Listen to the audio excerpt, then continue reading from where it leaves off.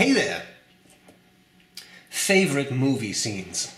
One of my favorite movies is called Plunkett and Macleane. Severely underrated in my mind. Beautiful British movie, fantastic, great humor, great action scenes, superb. And my favorite character in that movie is the Earl of Rochester. And at some point, the Earl of Rochester is asked by one of the two protagonists in the movie, Captain James Macleane, Rochester, do you still swing both ways? And the Earl of Rochester says, Jamie, I swing every way. And I've always loved that line. In fact, I love that movie so much that when I've, I've stolen one of the Earl of Rochester's other lines, uh, and I use that every time people ask me what it is I do for a living because I teach psychology, and every time I say, when they ask me that, I say, I corrupt the young. Okay, now, having said that, you know what also swings both ways? This pen. Because this is the Waldmann 2-in-1. Now, here's the deal. Looks like a ballpoint, right? Boom. Ballpoint. But wait. There's more! I got very excited there. Boom. It's a ballpoint, fountain pen, fountain pen, ballpoint, ballpoint, ballpoint, fountain pen. How do you like them apples? So here you have one instrument that actually writes on both ends, that has advantages and disadvantages, which of course I will cover for you in this video. A very kind thank you to Joost Appelboom for lending me this pen. I appreciate it. I'm going to show you the parts of the pen in more detail, then I'll do a writing sample, and finally I'll tell you what I like about this pen and what I not like about this pen. Let's get started. Okay, let's have a look at this Waldmann 2-in-1 giant box. It's, uh, it's really quite big. Cardboard outer box, and then you have this big box which is also quite heavy.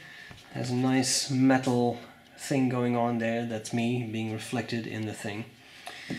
Waldmann, uh, it says Waldmann and then it says made in Germany since 19, I'm pretty sure it says 18, but I can't really read the engraving there.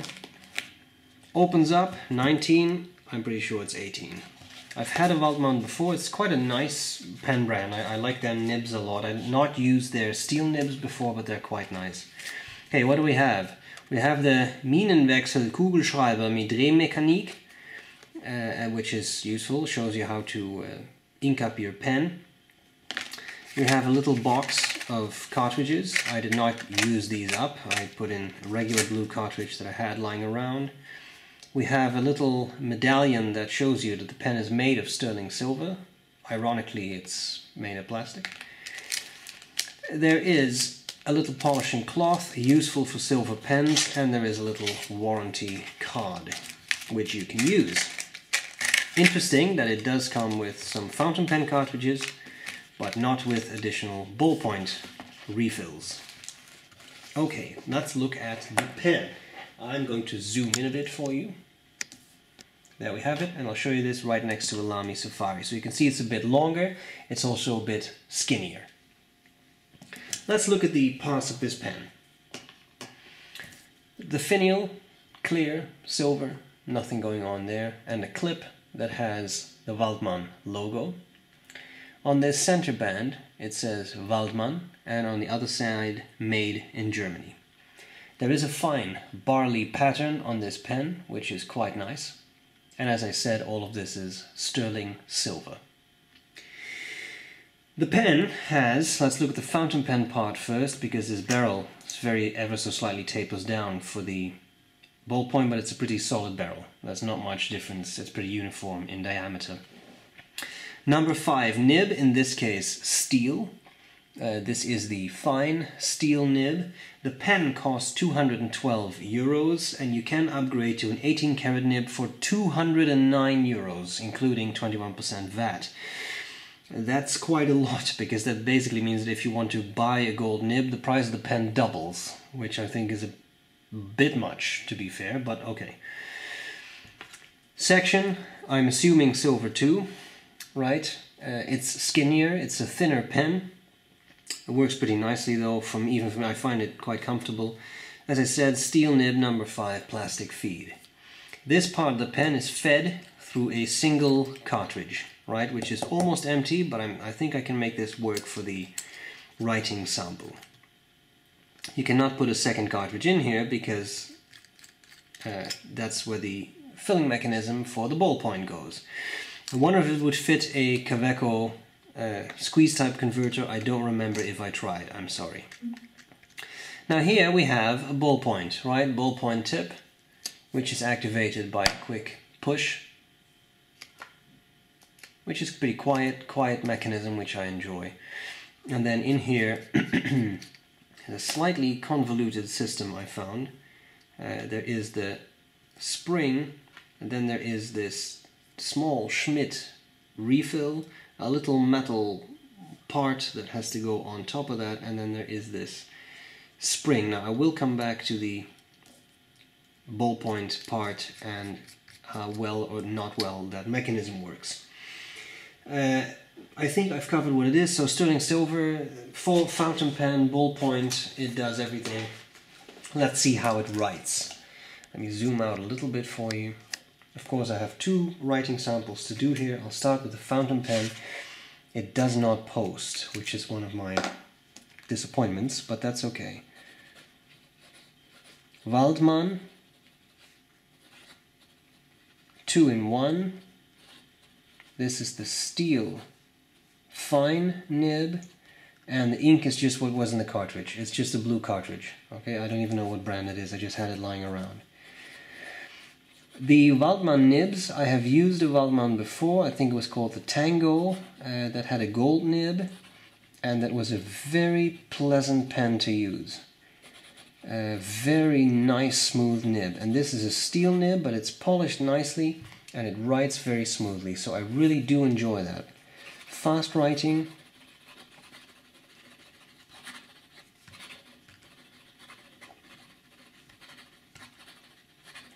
really lays down a pretty nice, consistent, even line, which I really enjoy. Wetness, well, it's not a gusher, and I have found that this nib, although it writes pleasantly, for my liking it could be a little wetter, but then it is a fine, right? Line variation, as always, very, very careful. There is a little bit, not a whole lot.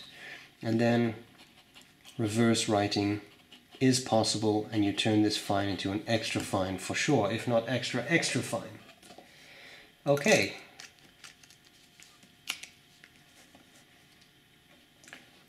I have found this refill to be a bit of a pain. And here's why. You see it sticks out quite far now. But it, I don't know if you just saw that, it pushes back in. Now in fact you can pull the whole thing out. Something is off here. I know this is a defect, but I don't think it's supposed to be like that. I don't think, I've never used a ballpoint where you could do this, right? So this freaks me out a little bit. Also, when you withdraw it, right, and this sticks out a bit farther, if I withdraw it, it doesn't fully withdraw. You have to put it in. Now, that was something caused by me, but I have been writing with it, and I, um, I, I pulled it back, and I ended up with something like this, like the tip sticking out just a tiny bit, and you have to push it all the way in yourself. So interesting. I'm not sure that system really is perfect. So here we have the ballpoint though. Uh, yes, my ballpoint handwriting is different from my fountain pen handwriting. I don't know why. It writes pleasantly though, I, I will say that. The only issue is with the cap, it's a little top heavy. It's all silver, so you do feel that weight a bit. And maybe that's why they didn't want to make it post but I would really love to be able to use that fountain pen with a nice deeply posted cap. I think it would be very uh, comfortable. Anyway okay so I don't have to do line variation here I don't have to do wetness I don't have to do any of those things of course because it's a ballpoint but yeah it's a ballpoint and it writes and it's kind of convenient to have that available to you quickly quick click and you can write which is not a bad thing so I like what Waldmann was trying to do here with this, this two-in-one concept. I think it's, it's quite nice.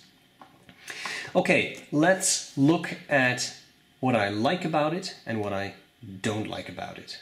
Okay, what do I like, what do I not like about the Waldmann 2-in-1? Well, the obvious thing to comment on, it's two writing instruments in one, and I think it's cool. You have a fountain pen and a ballpoint in one go. It, it's useful, and I found myself using both of these things. Sometimes you want to make quick note, and you do that, or you want to write something a bit more extensively, and you use the fountain pen. I think there's a lot to be said for that. Uh, I like the steel nib because it's very smooth, even though it is fine. Uh, it's very smooth. It doesn't have the same bounciness that the uh, the gold nibs that Waldmann uses have and that I have used in the past, but it is very pleasant to use, so I do really enjoy it. I also find it pretty comfortable. Yes, it is a little skinny, um, but I do find it comfortable enough to use, especially because it's silver. That makes it a little heavier, which I kind of enjoy.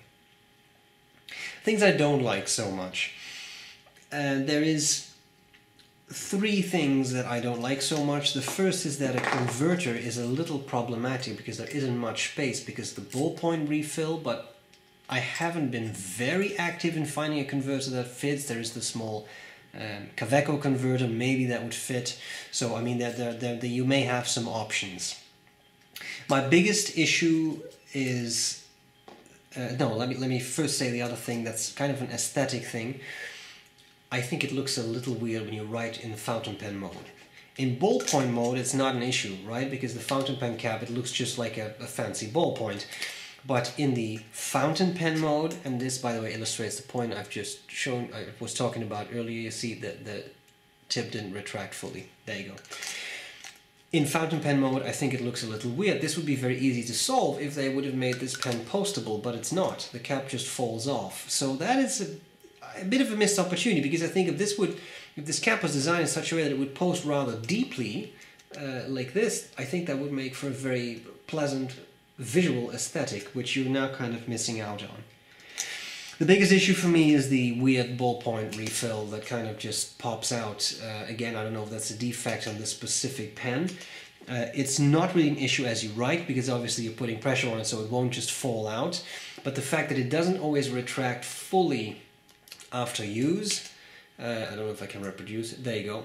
Uh, it doesn't retract fully, that's a bit of an issue. Put this in a, in a shirt pocket and if this moves past your shirt you're going to have a blue line. Right? I think this pen would make a really good gift for someone if you're not sure if they really like fountain pens. They always have the ballpoint to use. So I think there is tremendous potential beyond the obvious of having to use two, having the um, um, access to two writing modes at the same time.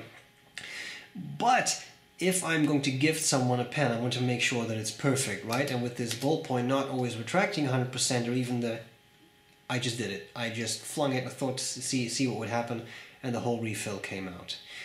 That to me is a bit of an issue. And again, I don't know if it's this particular pen. If you own one, let me know if you've experienced this too in a comment below because I would really appreciate this, and I think so would other viewers.